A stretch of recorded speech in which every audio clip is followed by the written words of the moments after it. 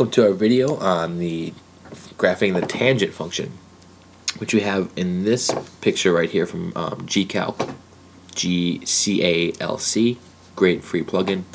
Um, great free, maybe I think it's called a plugin at least. Uh, so it's free and it's great for graphing. So here we have the tangent in purple, and here it is again, and here it is, and, and so forth. And the blue line we have, well, what's that? Well, I can look at zero from my answer. At 0, the cosine is 1, so this blue line is cosine. And this green line is 0, since we know that sine is 0 at 0. Um, so what's going on here with the tangent? Why does it just veer off into infinity here so often, and what's happening?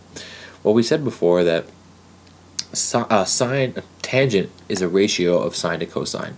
So we're going to take a snapshot of this chunk right here and kind of examine what it means to really take a ratio of sine to cosine. And that I think will give us a better understanding of why the tangent graph looks like this and why it actually makes a lot of sense about what's happening.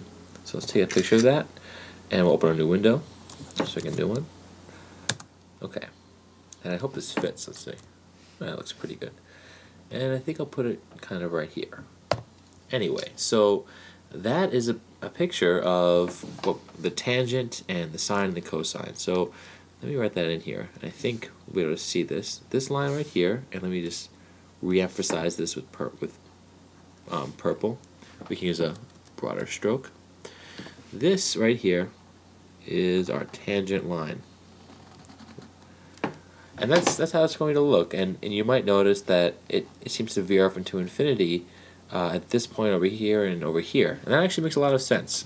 And the reason is tangent of theta equals, we've talked about how it equals the opposite side over the adjacent side of a right triangle. But I'm going to just, I guess, digress, go back a little bit, talk about what really, what this really means. Um, here's my right triangle. Here's theta. Now, tangent is equal to the opposite side over the adjacent. But also, um, sine is equal to the opposite over hypotenuse, right?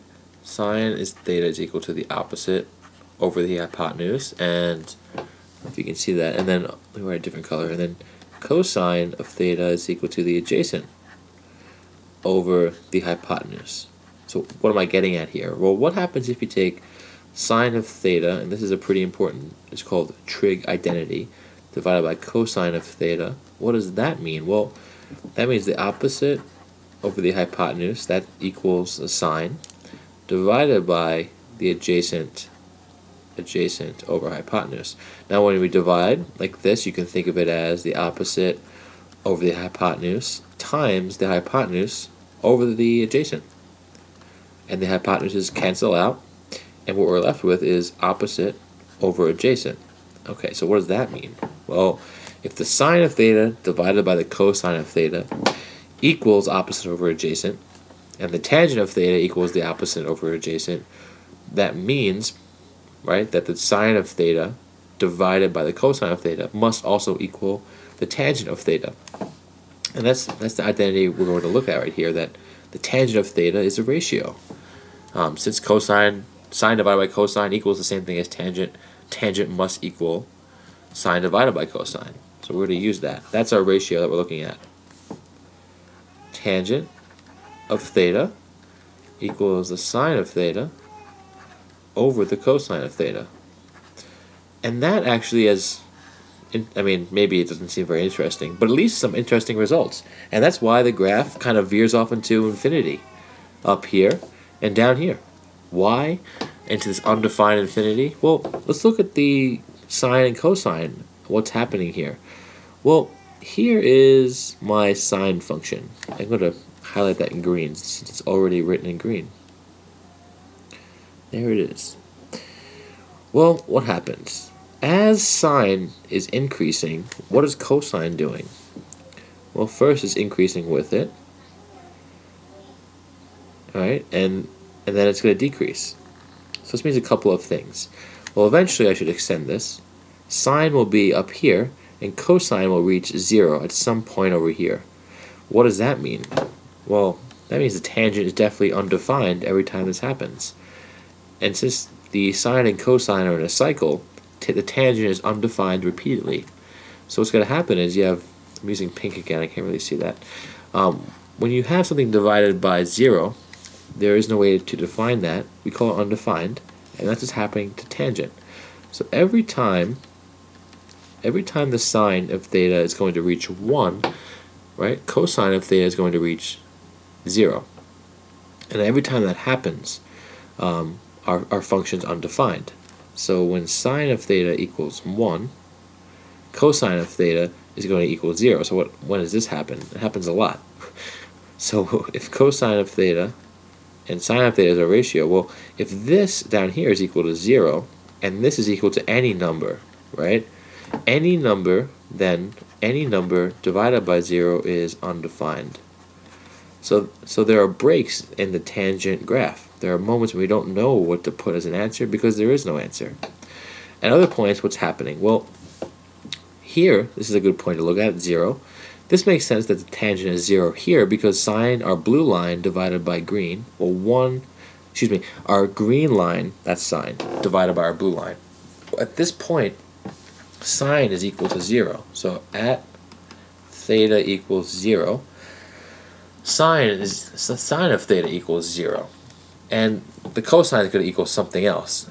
It's not going to equal 0. But any but 0 divided by any number, what's that? That's 0. So the tangent at this point is 0. And then what happens to our purple line? Well, it starts to go up. I need purple. There it goes. So here, the tangent starts to go up. Going up and up. Why? Well, we're constantly dividing um, our green line by our blue line. So, so the value of the purple tangent is going to be going up because sine is increasing and cosine is decreasing.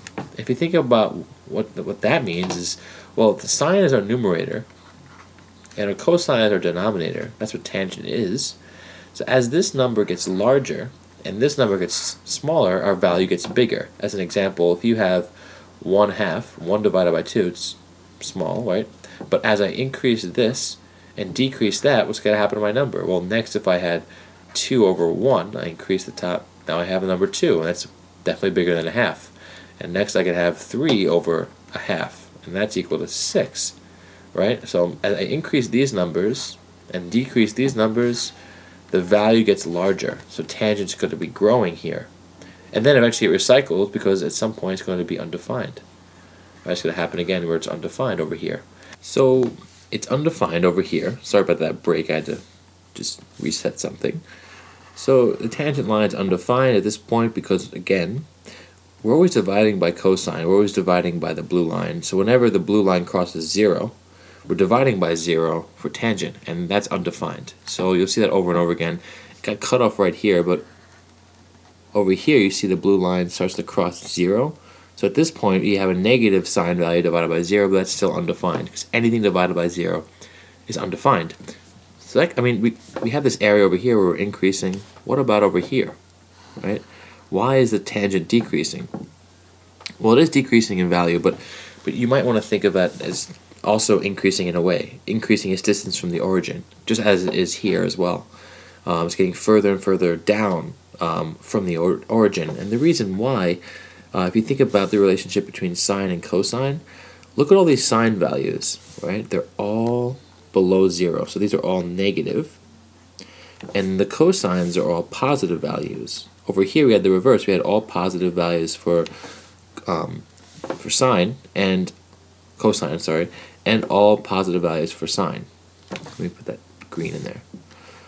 That's an, I mean, all these positive divided by positive, we have these positive values, and the blue line, the cosine, is decreasing, and the sine's increasing, so those values, those numbers are going up and up and up for tangent.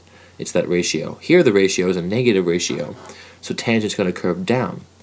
These negative divided by these positives are going to um, get give us smaller and smaller numbers. And part of the reason, if you want to think about it this way, um, the the sine is getting more and more negative, getting larger negative numbers divided by smaller and smaller positive numbers. So when you have bigger negatives, then the negatives are increasing, and you're dividing by smaller and smaller positives, you're going to get a much bigger number. For example, if you have negative 4 divided by um, 2, it's going to be negative 2.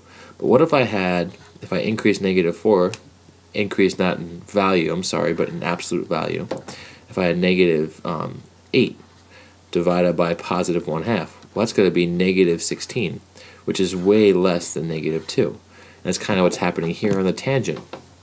And if you want to see it in the graph, again, these tangent lines, right?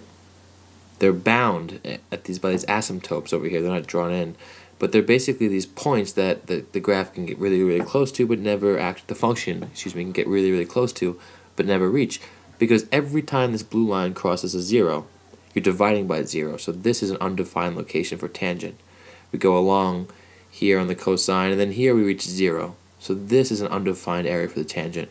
We go along, and again we cross zero. So we're dividing by zero because tangent is that ratio of green sine divided by blue cosine. And again, we have an undefined location. So it's really neat that the tangent does this funky thing because we keep we keep reaching undefined points. It's this really neat looking un this really neat looking um, broken up graph. And uh, it's it's hard to believe, I guess, from this picture that all these functions are actually connected. But we still see patterns, right? The blue and the green functions the cosine and sine, are just shifted over. And the tangent is just broken apart by these points of impossibility. And that's some pretty neat stuff.